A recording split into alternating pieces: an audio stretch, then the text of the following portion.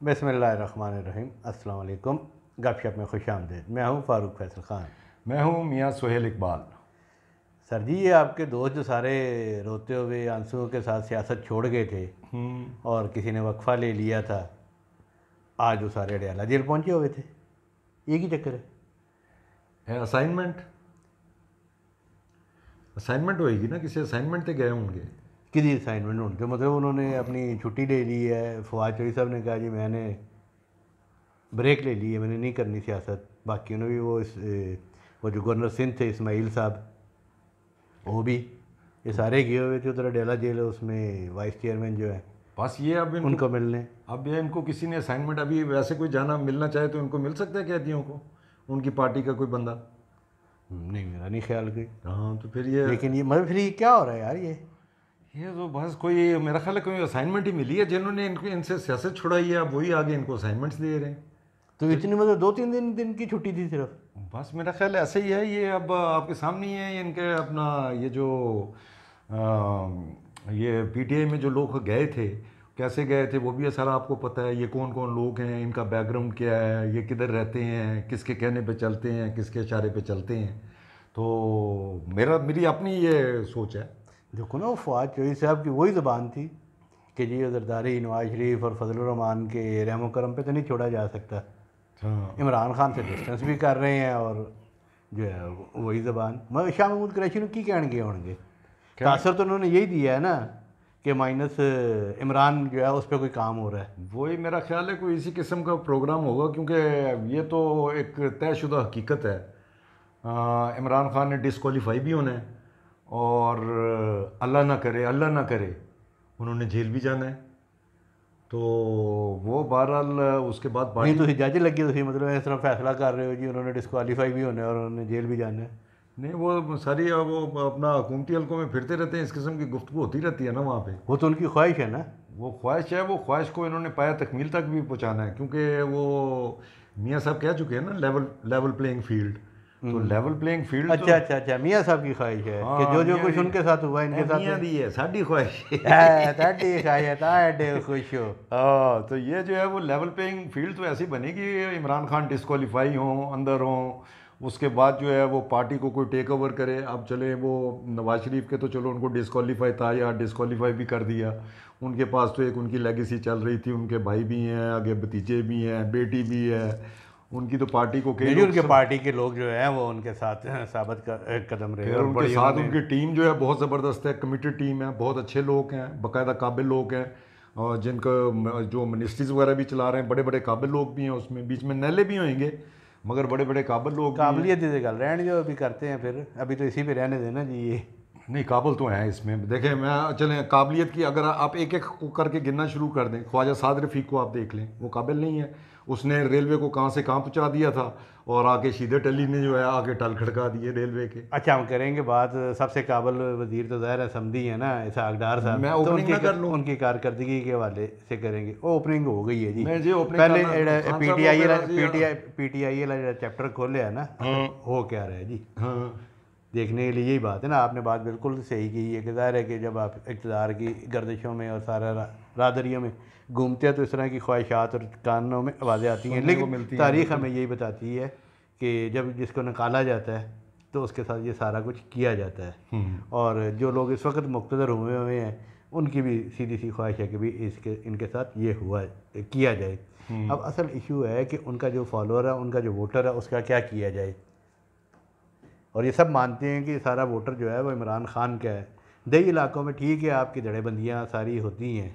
लेकिन आज के हवाले से जो मुलाकात जो है वो यही है कि शाह महमूद कुरैशी साहब को मेरे ज़रा ये कह रहे हैं कि उन्हें मैसेज दिया गया है इनके ज़रिए। हम्म, कि शाह जी मान जाओ।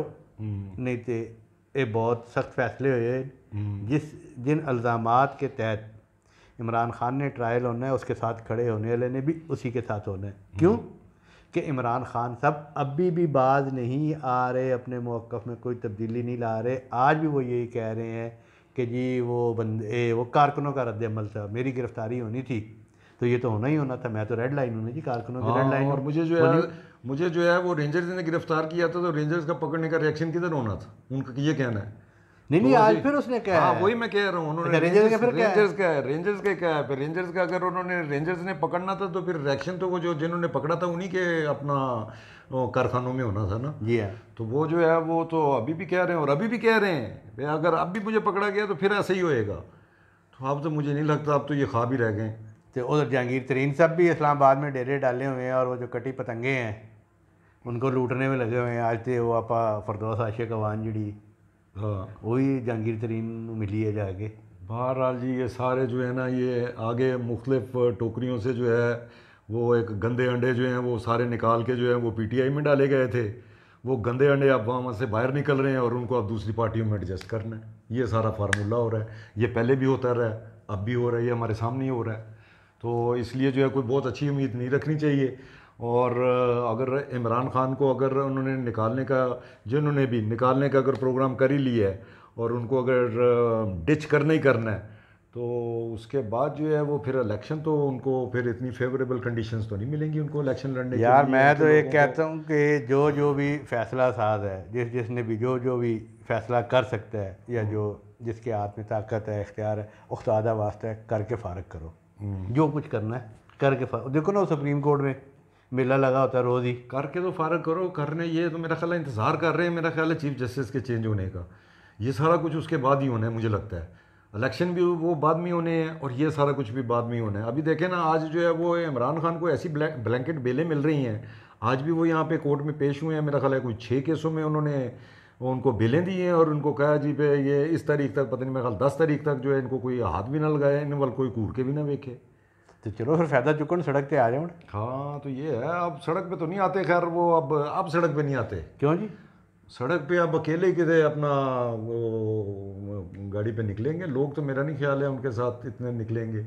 और जब उनको पता होगा कि आगे पुलिस खड़ी है तो उसमें से बहुत सारे तो अभी भी वो जो नामालूम है पर्चे तो हुए हुए हैं ना नामालूम के खिलाफ भी हुए हुए हैं। तो उस नामालूम में तो आपको भी डाला जा सकता है ऐसी कोई बात नहीं है। इसलिए तुझे भी ज़रा ध्यान रखना जी।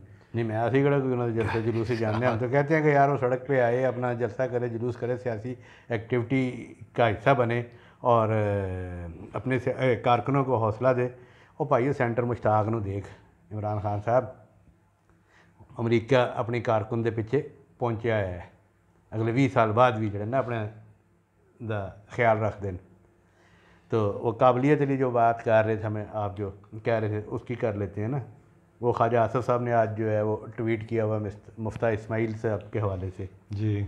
और उन्हें उनकी काबिलियत को भी उन्होंने खैर तस्लीम किया है कि भी ये मुसलमा है।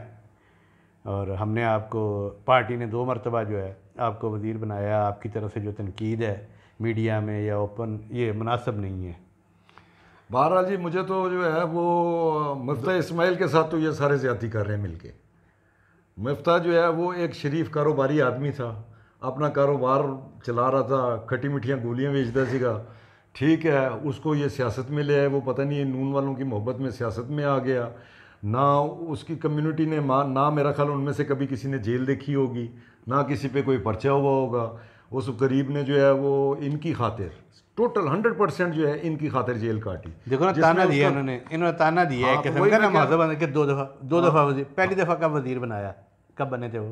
पहली दफ़ा वो बने थे अपना, वो जब इसहाक डार भाग गए थे। ऐसे ही है ना? जब नवाज़ शरीफ नायल हुए थे शायद खान अबासी वज़ीर अजम बने थे। हाँ। ये वज़ीर ख़जाना चलते रहे लेकिन वो ज़ाहिर है कि जो भी केसेस उस वक्त बन रहे थे और जिस तरीके से बन रहे थे हाँ, उसमें एक मौका ऐसा आ गया था कि इसहाक डार जो है उस फंदे में फंस रहे थे। तो लिहाजा वो सरकारी विज़िट पे गए थे वज़ीर ख़जाना के तौर पर बाहर ही रह गए। बाहर ही रह गए तो पीछे से मुफ्ता मुफ्ता इसमाइल को और कोई इनको बंदा नहीं मिला इन्होंने कहा ये चलें पार्टी का लॉयलिस्ट है और इकॉनमी को भी अच्छे तरीके से समझता है। उन्होंने उसको वज़ीर बना दिया। और वो तो खैर हुकूमत जो है जब थोड़ी देर ही रही थी। साल सवा साल रही हाँ। और जितना अरसा वो बेचारा वज़ीर रहा उससे ज़्यादा वो पीटीआई के दौरे हुकूमत में गिरफ़्तार रहा जेर हिरासत रहा। बिल्कुल ऐसे ही हुआ हर कोर्ट उसने भुगती है सारा कुछ। हम्म, अच्छा जी फिर जब तरीक़त में अतमाद के बाद पीडीएम और तादी पार्टियों की बनी उसमें मुस्लिम लीग ने कहा जी अपना वज़ीर ख़जाना हमारे पास होगा हमें बड़ा तजर्बा है। हाँ। और पीपल्स पार्टी ने भी कहा जी आप रखें मैशत की। तो इनके पास बंदा कोई नहीं था दोबारा मिफ्ता को कर लिया। मिफ्ता को और मिफ्ता ने जो शुरू में आते साथ जो बातें कह रहा था कि ये ये करें उसकी किसी ने भी एक नहीं मानी। वो वहाँ से जो है वो इसहाक डार साहब लंदन में बैठे जो हैं वो डिक्टेट करते थे नहीं ऐसा नहीं करना ऐसा नहीं करना मैं बस आ रहा हूँ मैं आगे संभाल लूँगा। वो मुफ्ता इस्माइल साहब जो हैं, वो बेचारे जो हैं, वो अपनी कोशिश करते रहे और वो जो उस दिन बातें कर रहे थे, जब जब वो वज़ीर बने हैं, जितनी देर वो वज़ीर रहे हैं, वो बातें सारी सच साबित हुई। वो सारे जो अपना इनको अभी ये जो नाक रगड़नी पड़ रही है आईएमएफ के पीछे, और वो उस वक्त कह रहे थे, भाई, आप सारी जो है अब आपको शराइत माननी पड़ेगी, क्योंकि इमरान खान ने वो सारे कॉन्ट्रैक्ट आईएमएफ के साथ करके गया हुआ था और वो आपको मानने पड़ने थे। तो उसमें सबसे बड़ी बात जो है वो उस वक्त सब्सिडी की थी। सब्सिडी मुफ्ता इस्माइल उस वक्त कह रहा था कि आप सब्सिडी ख़त्म करें। और वो इन्होंने लिंगर ऑन किया, जिसकी वजह से आज तक जो है हमारा आईएमएफ के साथ जो है वो एग्रीमेंट साइन नहीं हो सका। उसके बाद ये साग डार साहब आ गए हैं और ये अब अब जो है ये बाकायदा नाक रगड़ है। बाकायदा जो है ना, लकीरें आईएमएफ निकलवा रहे हैं इनसे। ਤੇ ਤੁਸੀਂ ਕਹਿ ਰਹੇ ਹੋ ਜੀ ਬੜੇ ਬੜੇ ਕਾਬਲ ਵਜ਼ੀਰ ਬਈ ਖਜ਼ਾਨਾ ਹੋਏਗਾ जेब खीसे पैसे होंगे तो बाकी आगे काम चलेगा ना और क्या किसी और बंदे को अगर सागडार अली कारकर्दगी किसी और पार्टी की किसी की होती लीडर की तो बरकरार रहता है वजीर खजाना ये फ़ौरन फारग कर देना था उसको एक मिनट से पहले फारग कर देना था ये तो रिश्तेदारी की वजह से बचे हुए हैं तो यार रिश्तेदारी के चक्कर ਦੇ कौम के नाल मजाक ना नहीं होना चाहिए बहरहाल कौम के साथ मज़ाक हो रहा है लोगों की कमर टूट गई है महँगाई की वजह से डॉलर किधर का किधर चला गया है वो डॉलर उनकी ज़रा बढ़ के सुने उस वक्त डॉलर की क्या कीमतें लगाते होते थे। डॉलर कह रहे थे जी दो सौ रुपये पे आ जाएगा पता नहीं कितना और नीचे आ जाएगा। वो दो सौ क्या वो तो डबल की तरफ़ चला गया। अभी तीन सौ क्रॉस कर गया वो आपके सामने साग डाल रहे तो चार सौ भी हो जाएगा। पाउंड जो हो गया ना चार सौ तक? पाउंड मैंने कल लिए हैं जी तीन सौ पचासी रुपये के हिसाब से। अच्छा मेरे धुआँ निकल गया। मुझे बच्चों को खर्चा मर्चा भेजना पड़ता है तो मेरा तो धुआं निकल जाता है यहाँ से तो बंदा कमा के भेज भी नहीं सकता है बड़ा मुश्किल है तो तुम भी अपना पढ़ लिख के अगर जज लग जाते ਤੇ ਅੱਜ 75000 ਰੁਪਏ ਦੀ ਦਿਹਾੜੀ ਦੇ ਲਾ ਰਹੇ ਹੁੰਦੇ ਨਾ ਡੇਲੀ ਸਰਕਾਰੀ ਤੌਰ ਤੇ ਬਾਕੀ ਉਤਲੀ अच्छा ये जज की जज की दिहाड़ी जो है वो पचहत्तर हज़ार रुपया डेली है सर अपना डेली पूरे बारह घंटे की ड्यूटी है या कितनी देर दी है तीन घंटे दी है देखो ना पंद्रह लाख रुपया तनख्वाह है हाँ। और बाईस वर्किंग डे है महीने के। हम्म। तो पचहत्तर हज़ार रुपये ना ये तो सीधी सीधी हाँ तो पचहत्तर हज़ार रुपया तो पचहत्तर हज़ार पचहत्तर हज़ार में मेरे साहब में वो तीन घंटे या चार घंटे से ज़्यादा काम नहीं करते हैं। बाकी चाय पानी का इनका खर्चा होता है। चाय टाइम हो गया है रोटी टाइम हो गया है सैंडविच टाइम हो गया है पैटिस टाइम हो गया है।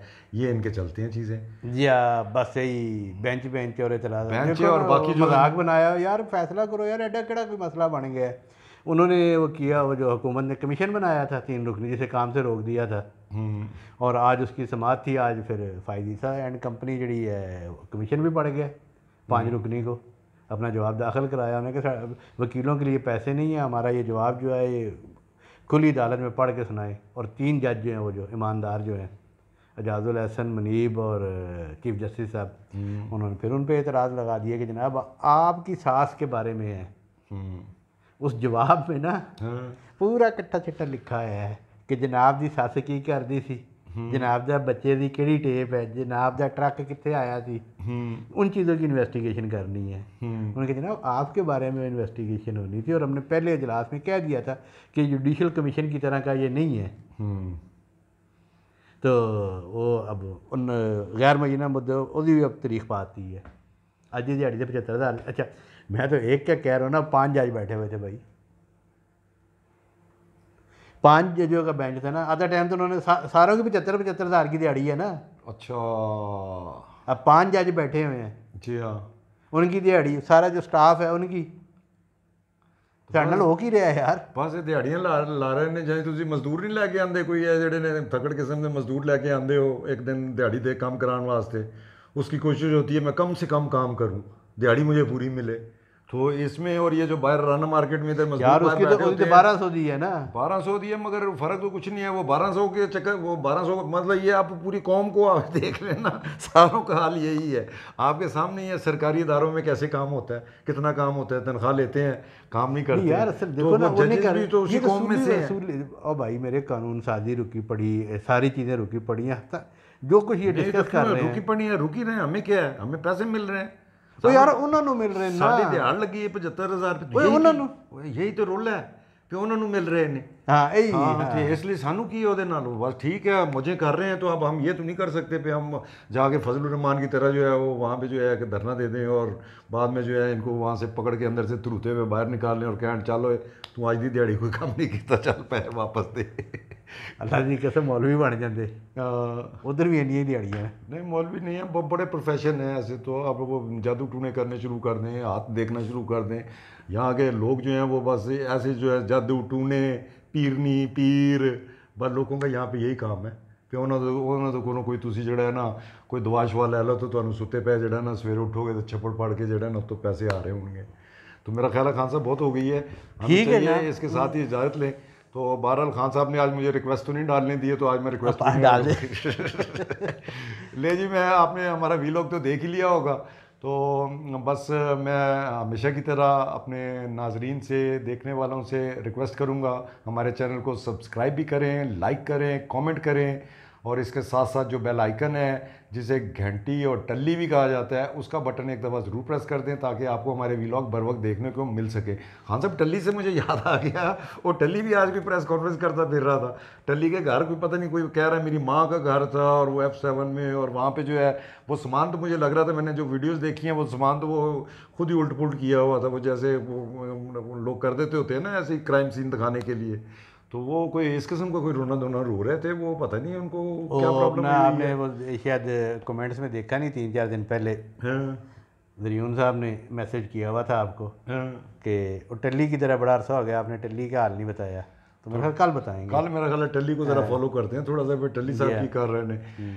हाँ, जी आपने हमारा वीलॉग तो देख ही लिया देख ही लिया होगा इसके साथ ही हमें इजाज़त दीजिए। अल्लाह हाफिज़। अल्लाह हाफिज।